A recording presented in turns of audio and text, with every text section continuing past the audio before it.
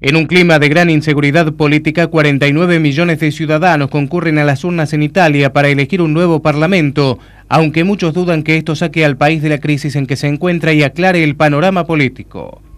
A pesar de las prohibiciones que pesan sobre las encuestas políticas, los analistas anticipan que los comicios darán un estrecho resultado entre la alianza derechista Polo de la Libertad en torno al ex primer ministro Silvio Berlusconi y la alianza izquierdista Olivo de Romano Proti.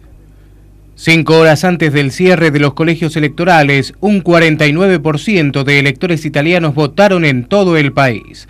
En las elecciones de marzo de 1994 la afluencia a esa hora era del 32,3%.